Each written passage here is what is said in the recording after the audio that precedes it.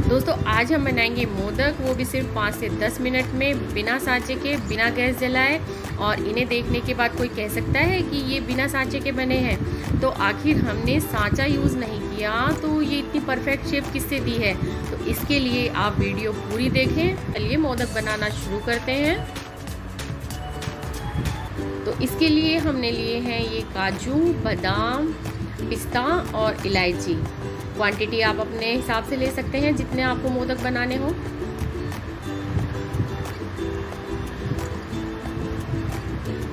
तो इन सभी को हम एक मिक्सी जार में डाल लेते हैं। और इनका एक दरदरा सा पाउडर बना लेंगे। तो ये देखिए, इन सभी का हमने एक दरदरा पाउडर तैयार कर लिया। और अब हम ले लेते हैं थोड़े से खजूर। तो ये खजूर के बीज मैंने निकाल लिए थे। और इन्हें भी हम पीस लेते हैं और पीसने के बाद ये देखिए, इसे भी हम इसी में मिक्स कर देंगे।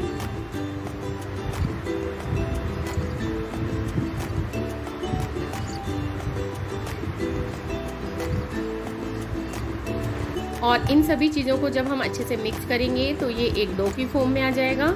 तो ये देखिए, ये डो की फॉर्म में आ गया।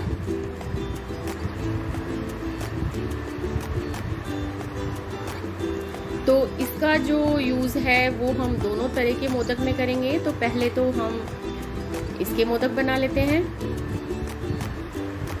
तो ये देखिए, इसे मैंने इस तरह गोल किया और ये मेरे पास में मफ़िन मोल्ड है सिलिकॉन के। और इस मफ़िन मोल्ड से मैं इन मोदक को शेप दूँगी।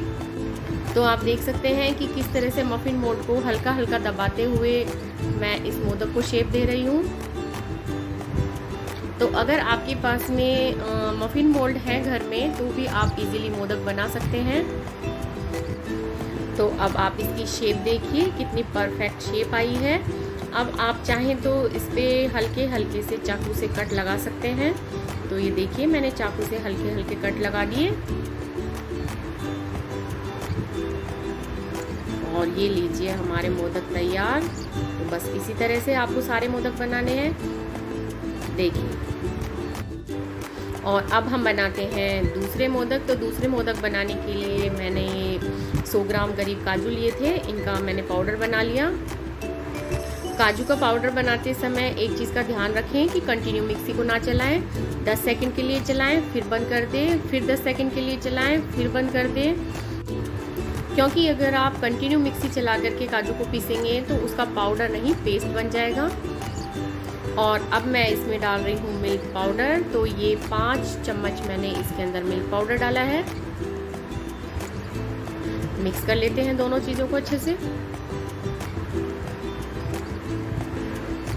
और इसके बाद हम इसमें ऐड करते हैं शुगर। तो ये चार चम्मच मैंने शुगर ऐड करी है। तो ये मैंने चीनी को मिक्सी में पीस लिया था और फिर पीसने के बाद उसको छान लिया था। फिर से मिक्स कर लेते हैं। ताकि शुगर इसमें अच्छे से मिक्स हो जाए। और अब मैं इसमें डालती हूँ दो चम्मच घी। तो ये दो चम्मच मैंने इसमें डाल दिया घी। और अब इसे भी अच्छे से मिक्स कर लेते हैं। और मिक्स करने के बाद हम इसमें थोड़ा थोड़ा करके दूध डालेंगे और इसे भी हम डो की फॉर्म में लाएँगे। तो इसका डो बनाते समय अगर आपको लगे कि इसमें दूध थोड़ा ज़्यादा डल गया है तो आप इसमें थोड़े से काजू या मिल्क पाउडर और डाल सकते हैं। और ये देखिए, इस तरह का टाइट डो हमें इसका बनाना है। जिस तरह का काजू कतली का होता है ना, बिल्कुल वैसा ही। और अब ये देखिए, मैंने एक साफ़ पॉलीथीन ली है और उस पर मैंने इसे निकाल लिया और उसके बाद दो चम्मच घी डाल करके मैं इसे आटे की तरह गूंद रही हूँ। तो करीब दो तीन मिनट के लिए हमें इसे अच्छे से आटे की तरह गूंदना है। और ये देखिए इस पर कितनी अच्छी शाइनिंग आ गई है।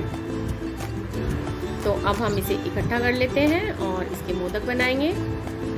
तो ये पहले से मैंने कुछ मोदक बना लिए थे। ये देखिए, अब मैं एक मोदक आपको बना करके दिखाती हूँ। तो ये एक पूड़ी की जितनी लोए लेकर के हम तरह से मोल्ड में रख देंगे। और उसके बाद जो हमने पहले मोदक बनाए थे, उसका थोड़ा सा मिश्रण मैंने बचा लिया था। उसे मैं इस मोदक में फिल कर देती हूँ। और ये देखिए, इसे भी हम इसे शेप देंगे। तो ये लीजिए, हमारे मोदक तैयार हैं। तो दोस्तों, मेरी आपसे रिक्वेस्ट है कि इसी तरह की आसान रेसिपी देखने के लिए आप मेरे चैनल को सब्सक्राइब करना बिल्कुल ना भूलें। साथ ही नई वीडियो के नोटिफिकेशन के लिए बेल आइकन को हिट करें। वीडियो पसंद आई तो लाइक और फैमिली फ्रेंड्स में शेयर ज़रूर कीजिए। तो ये लीजिए, हमारे दूसरे तरह के मोदक भी तैयार हैं। तो देखा दोस्तों, कितनी आसान है कि हमने बिना गैस जलाए सिर्फ़ पाँच से दस मिनट में दोनों तरह के मोदक तैयार कर लिए। देखिए कितने बढ़िया मोदक बने हैं हमारे। तो मिलते हैं एक नई रेसिपी के साथ। तब तक के लिए अच्छा खाइए, स्वस्थ रहिए। Thank you